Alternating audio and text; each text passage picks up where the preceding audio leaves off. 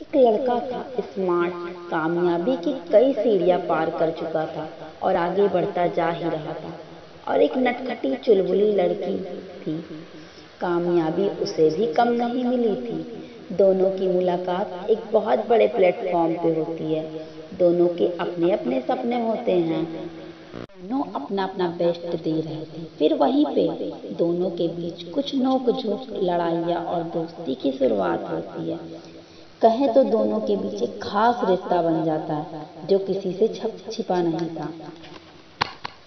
दोनों दोनों के लाइफ में एक दूसरे के लिए इम्पोर्टेंस बढ़ जाती है और दोनों की जोड़ी लोगों के दिलों पर छा जाती है।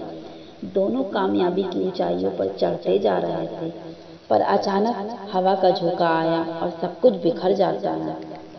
खबर आती है कि उस चमकते सितारे की डेथ हो गई है। वजह हार्ट अटैक बताया जाता है।